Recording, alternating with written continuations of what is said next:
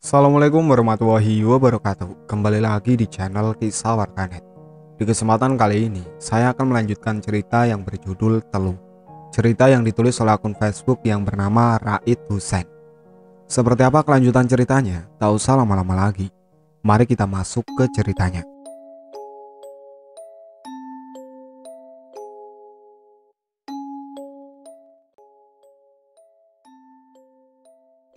Sebelum ia membuka pintu, ia mengintip terlebih dahulu di celah-celah.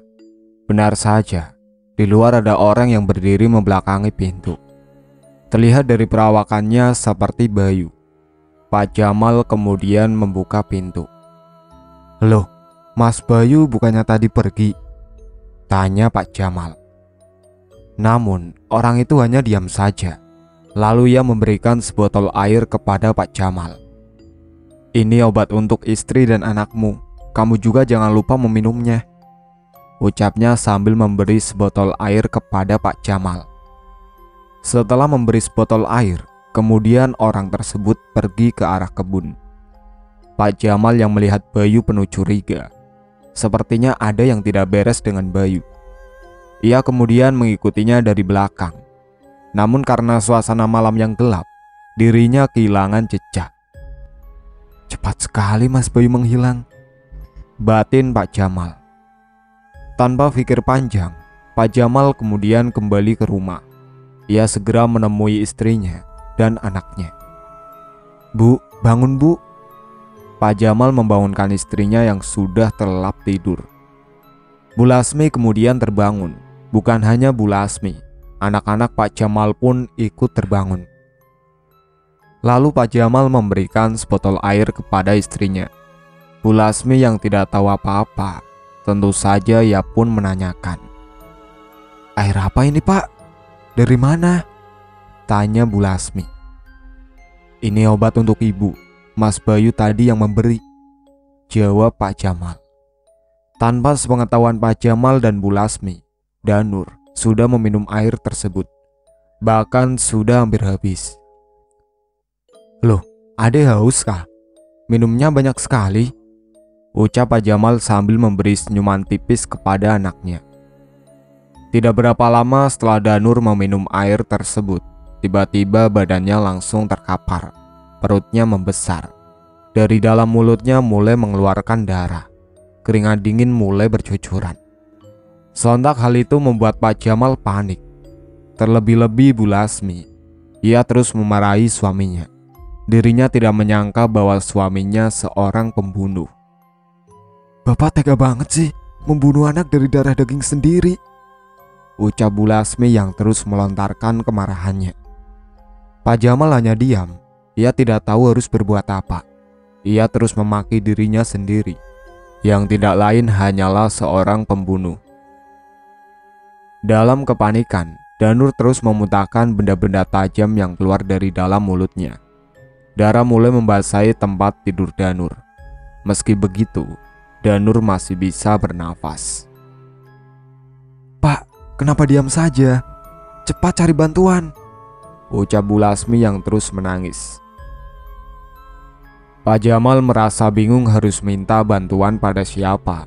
Sementara dirinya baru menempati rumah Bayu dan belum mengenal warga sekitar. Tidak berapa lama, Bayu datang bersama seseorang. Ia pun kaget ketika mendengar suara tangisan dari dalam kamar. Apa yang terjadi? Tanya Bayu. Setelah melihat keadaan Danur, sontak saja hal itu membuat Bayu geram. Lantas ia pun menanyakan perihal kejadian yang menimpa Danur. Dengan gugup, Pak Jamal berusaha menjelaskan kepada Bayu. Mendengar penjelasan dari Pak Jamal, Bayu semakin geram terhadapnya. Jamal, bukankah sudah saya peringatkan? Jika ada kejanggalan segera tinggalkan. Ingat ya bodoh, rasa penasaranmu itulah yang akan membuat petaka bagimu nantinya. Bukan hanya kamu, melainkan keluargamu sendiri. Dasar bodoh. Bentak Bayu. Seharusnya kamu mengingat kejadian di rumahmu. Itu juga akibat ulahmu sendiri yang meninggalkan istri dan anakmu. Lanjut Bayu. Bayu kemudian menanyakan air yang dibawa Pak Jamal. lalu Bayu memeriksa air tersebut. Seketika itu Bayu langsung membuangnya. Ketika hendak mengobati Danur, namun Bayu sudah terlambat. Air yang diminum Danur sudah merambat ke sekujur tubuhnya. Danur pun tewas seketika. Tubuh Danur seperti membusuk, matanya mendelik. Dari duburnya keluar cairan nanah. Bu Lasmi semakin histeris, terlebih-lebih Damar adiknya Danur. Ia menangis sekencang-kencangnya dengan memeluk tubuh Danur. Seolah-olah ia tak rela kehilangan kakaknya. Ke mana orang itu pergi? Tanya Bayu. Pak Jamal memberitahukan bahwa orang tersebut pergi ke arah kebun. Ia pun menjelaskan ciri-ciri orang yang perawakannya mirip Bayu. Hanya saja Pak Jamal tidak terlalu jelas melihat wajahnya. Mas, kamu tunggu di rumah ya? Ucap Bayu kepada temannya. Temannya, sebut saja Suryo, hanya mengangguk. Ia mengerti bahwa tugasnya untuk melindungi keluarga Pak Jamal. Kemudian Bayu bergegas keluar mencari orang tersebut. Semenjak kepergian Bayu, Pak Jamal, Bu Lasmi, dan Mas Suryo, mereka hanya diam tidak membuka percakapan. Hal itu membuat suasana menjadi hening. Mas Suryo pun keluar untuk mencari angin segar. Namun ketika berada di luar, Mas Suryo merasa ada keanehan.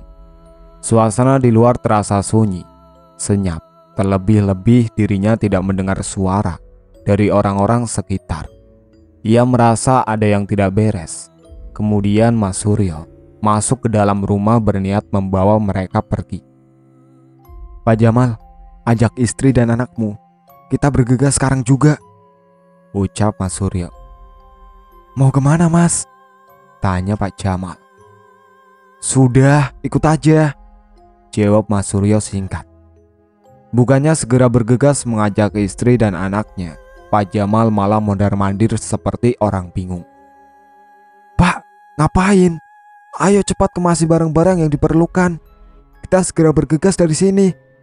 Ucap Mas Suryo. Tapi, Danur gimana pak? Lagi-lagi Pak Jamal terus bertanya. Bukan hanya Bayu saja yang dibuat emosi melainkan Mas Suryo yang baru kenal sudah dibuat emosi oleh Pak Jamal. Danur sudah mati, bisa diurus besok. Yang terpenting nyawa kita saat ini. Jawab Mas Suryo. Ada orang yang melayangkan teluhnya. Teluh ini ditunjukkan bukan kepada pribadi seseorang, melainkan ke rumah ini sendiri. Maka orang-orang yang berada dalam rumah ini akan mati semua. Mas Suryo berusaha menjelaskan. Sekarang cepat berkemas, kita segera bergegas. Waktu kita tidak banyak. Lanjut Mas Suryo. Kemudian mereka semua bergegas meninggalkan rumah Bayu. Kita pergi ke mana mas? Tanya Pak Jamal. Namun Mas Suryo tidak menjawab pertanyaan Pak Jamal. Pandangannya fokus ke depan sambil memberi jalan kepada mereka. Tak berapa lama mereka pun sampai di satu rumah yang sudah lama tidak terawat. Rumah ini adalah peninggalan orang tua Bayu. Bayu yang menelusuri kebun, ia berusaha mencari orang yang membunuh Danur. Semak belukar sudah ia singkirkan. Setiap pohon-pohon besar sudah ia periksa. Namun keberadaan orang tersebut belum juga ia temukan. Tak berapa lama, Bayu mendengar suara orang berlari. Ia pun langsung mengejar meski dalam kegelapan. Terlihat samar-samar orang itu menuju ke rumah Bayu. Belum sampai ke rumah, orang itu sudah lebih dulu tertangkap oleh Bayu. Bayu berusaha melumpuhkan badannya. Ternyata dia adalah Arman. Pengkhianatan. Pak Komar sengaja menyuruh Arman untuk memberikan air tersebut kepada Pak Jamal. Dari mana Pak Komar tahu kediaman Pak Jamal? Pak Komar menyuruh ingonnya untuk mencari keberadaan Pak Jamal. Dengan sekejap ia pun langsung menemukannya. Namun, dalam persembunyiannya, Arman ditemukan oleh Bayu. Arman segera diinterogasi, siapa dalang dibalik semua ini. Karena takut, Arman kemudian menceritakan semuanya. Ia menceritakan sosok Pak Komar, bahwa Pak Komarlah yang sudah menyuruh dirinya. Bukan hanya itu, Pak Komar juga yang telah mengirim berbagai teluh kepada Pak Jamal. Arman juga menceritakan ingon yang dimiliki Pak Komar. Tidak mudah untuk melumpuhkan Pak Komar. Cara satu-satunya yaitu dengan membunuh ingonnya sendiri. Dan untuk membunuh ingonnya harus dengan nyawa seseorang. Setelah mendengar penjelasan dari Arman, Bayu akhirnya mengerti. Tapi tidak melepaskan Arman begitu saja. Arman tetap Bayu tahan untuk tumbal nyawa Pak Komar. Bayu membawa Arman ke rumah peninggalan orang tuanya. Bayu juga sudah mengetahui bahwa Mas Suryo dan keluarganya Pak Jamal sudah pindah dari rumahnya. Sebelum Bayu pergi mencari Arman, dirinya sudah memberitahu Mas Suryo agar segera meninggalkan rumah. Kemudian mereka bertemu di rumah peninggalan orang tua Bayu. Setelah mereka semua bertemu, lantas Mas Suryo menanyakan orang yang dibawa Bayu. Siapa orang ini mas? Tanya Mas Suryo. Bayu kemudian menjelaskan bahwa Arman inilah pelaku dari kematian Danur. Arman juga termasuk abdi setia Pak Komar. Selain itu Arman juga yang sudah meneror keluarga Pak Jamal. Hal itu Arman lakukan atas perintah Pak Komar. Sebaiknya lepaskan saja mas, dan suruh dia kembali. Ucap Mas Suryo. Bayu mencerna ucapan Mas Suryo. Ia sebenarnya ragu untuk melepaskan Arman. Tapi apa yang diucapkan Mas Suryo ada baiknya juga. Baiklah mas, ucap Bayu. Tentu saja Arman sangat bahagia karena sudah terlepas dari cengkraman Bayu. Tapi Arman tidak mengetahui bahwa Ingon Pak Komar sudah mengintai dirinya sejak tadi. Hal itu juga sudah diketahui Pak Komar terlebih dahulu. Arman pun segera kembali ke rumah Pak Komar. Kematian Arman Pak Komar yang sudah mengetahui Arman berianat kepada dirinya. Tentu saja hal itu membuat Pak Komar marah. Bahkan ia tak segan-segan ingin membunuh Arman. Setibanya di rumah, Arman melihat Pak Komar yang sudah duduk di teras menunggu dirinya. Sudah selesai? Tanya Pak Komar. Sudah pak, jawab Arman gugup. Ia takut Pak Komar mengetahui bahwa dirinya sudah berkhianat.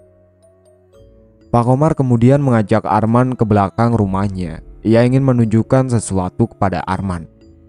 Sesampainya di belakang rumah, Pak Komar menuju ruang pribadinya dan kembali ke belakang dengan membawa beberapa boneka yang sudah dibuatnya. Silahkan dipilih, ucap Pak Komar menyuruh Arman untuk memilih salah satu boneka. Maksudnya pak? Tanya Arman kebingungan. Kamu tahu maksudnya? Eh bangsat, denger ya baik-baik.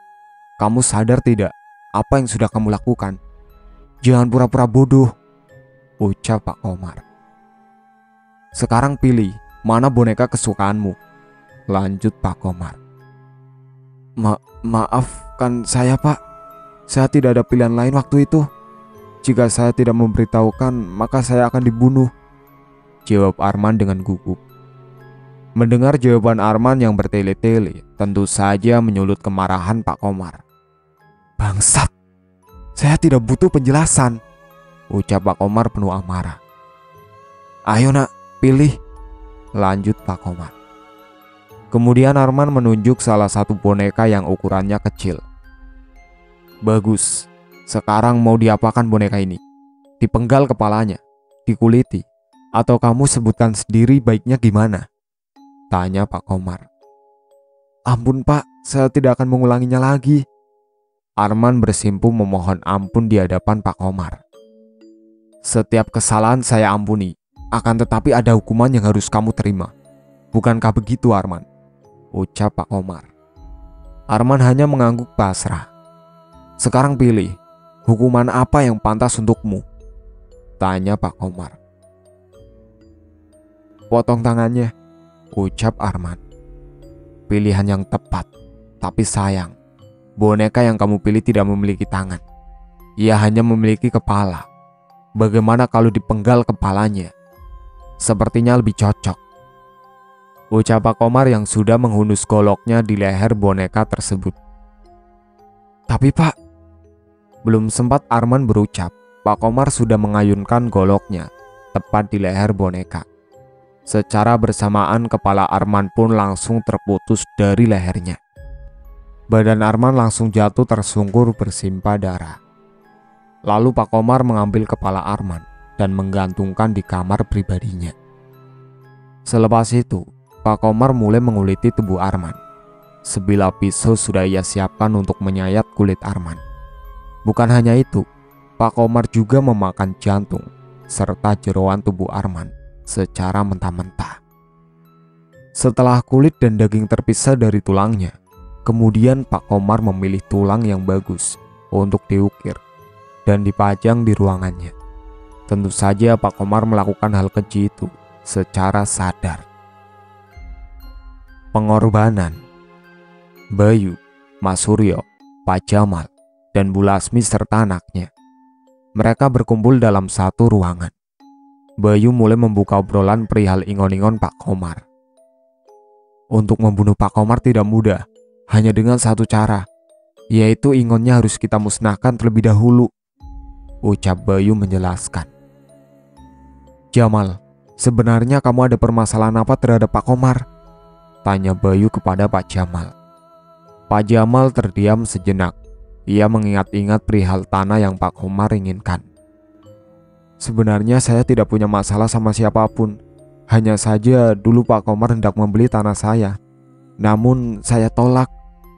Jawab Pak Jamal.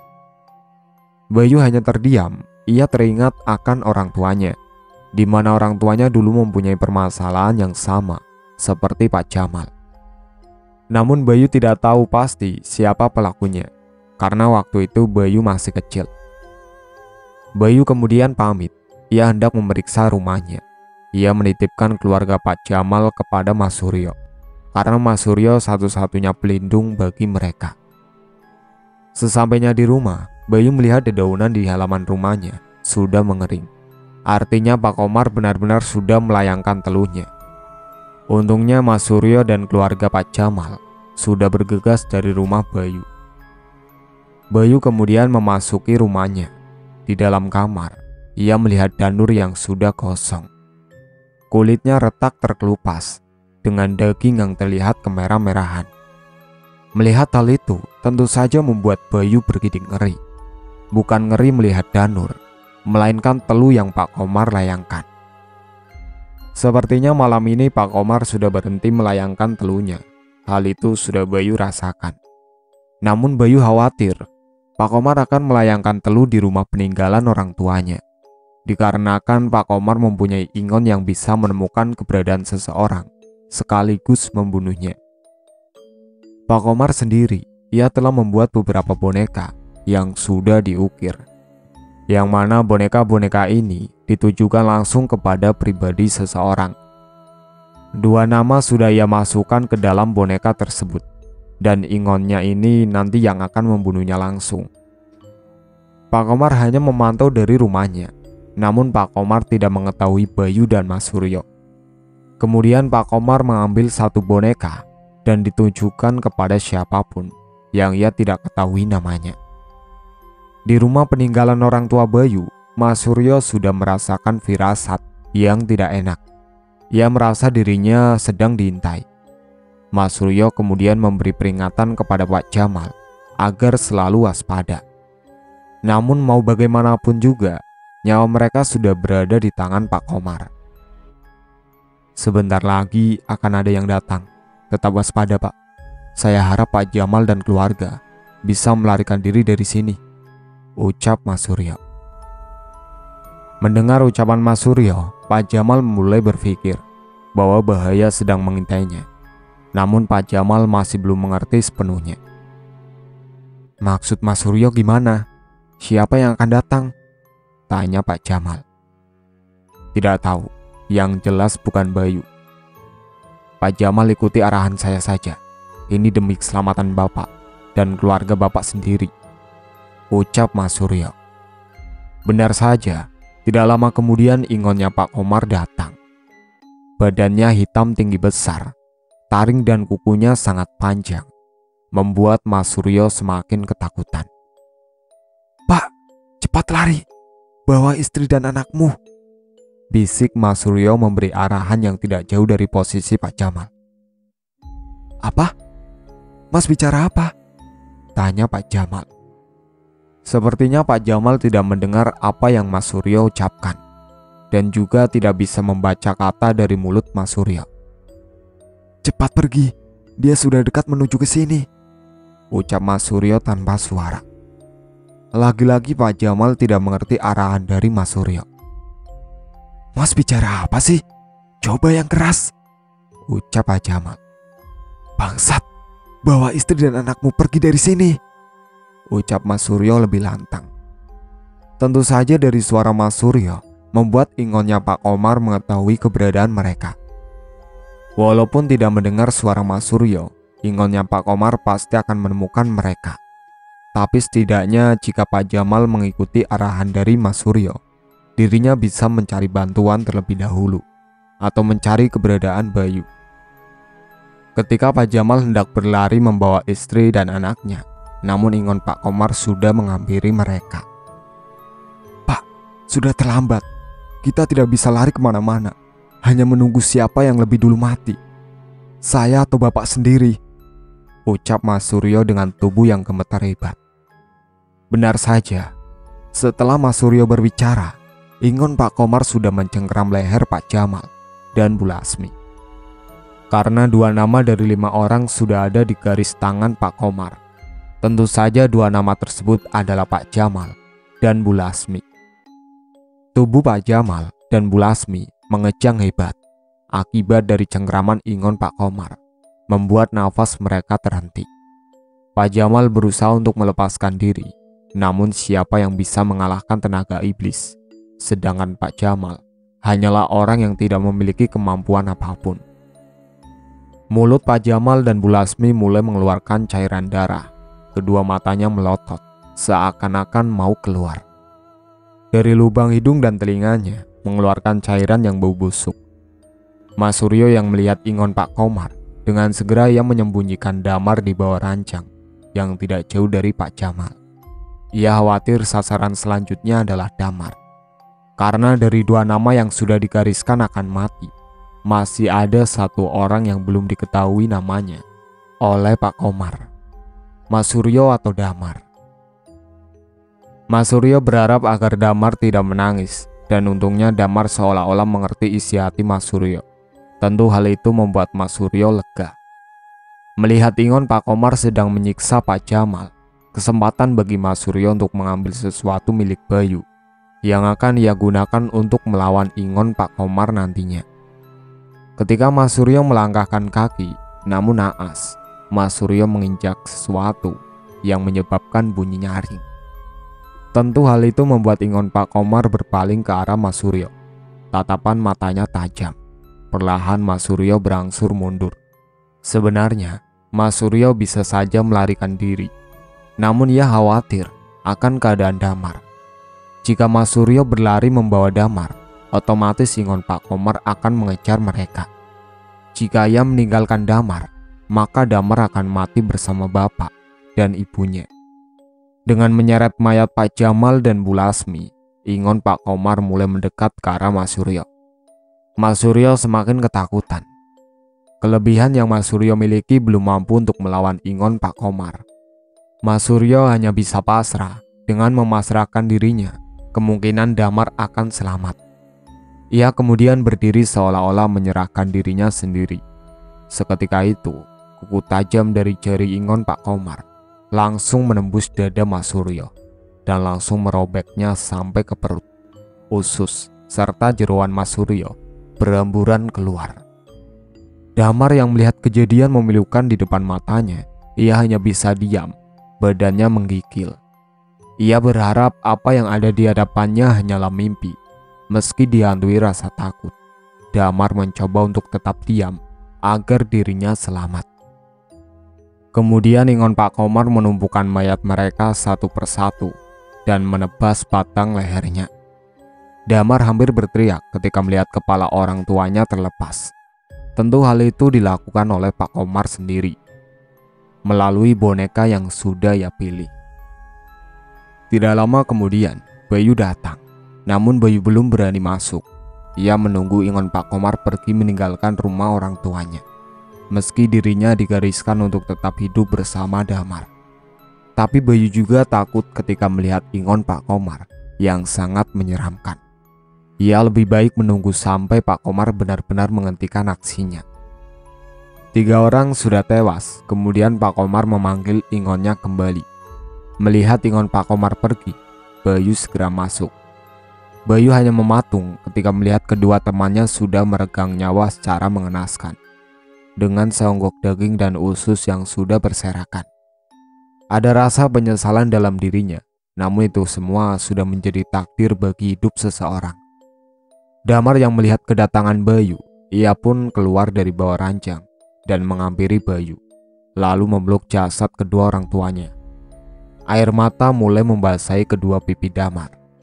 Damar merasakan kesedihan yang mendalam. Kejadian yang ia lihat seolah-olah membekas dalam hatinya. Setelah melepas kepergian orang tuanya, Damar memeluk erat tubuh Bayu.